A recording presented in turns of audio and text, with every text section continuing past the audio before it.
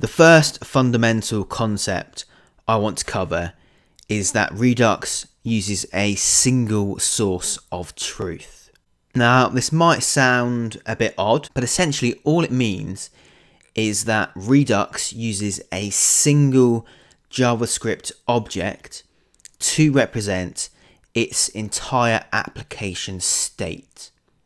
And this can often be called the state or the state tree. Now, Redux has a store, which we'll cover later on, and that store is just the object that holds the application state. So, the state of your whole application is stored in an object tree within a single store. As I said, we'll cover stores later on, so don't worry about that bit too much. Let's just focus on the state and the fact that it's a single source of truth. It's probably easier if I show you exactly what state might look like for a simple application. So let's imagine if we have an application like Kickstarter. And let's ignore the whole kind of users and logging in, logging out, etc. etc. Let's just focus on projects. So imagine we have a page that displays an array of projects.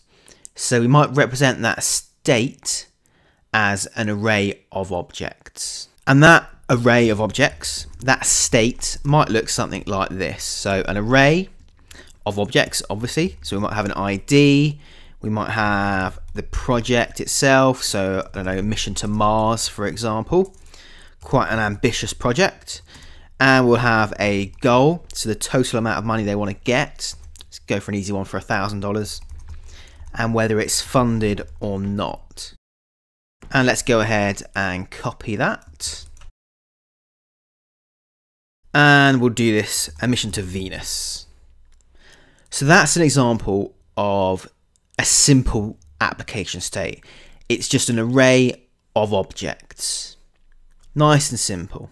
So our application state can be simple, but it can also be pretty complex. If you think about an application like Uber, for example, it's quite a complex application. There's quite a few things going on.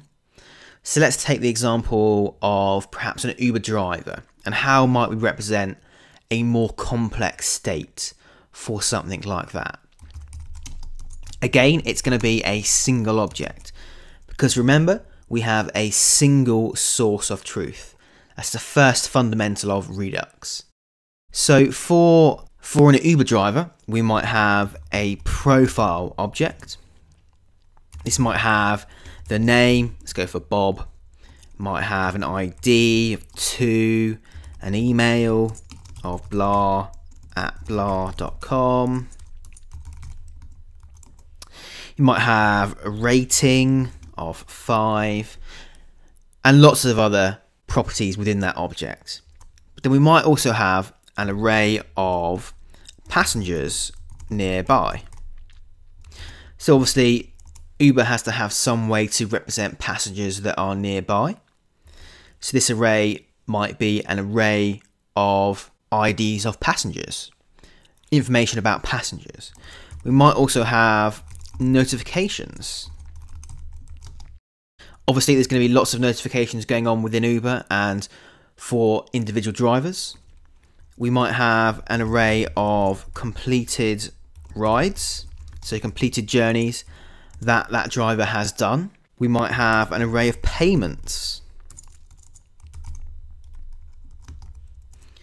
we might then have an array of ratings. And this ratings array might be an array of objects again. It might have the customer ID, so five, and then the rating that this driver got for that customer.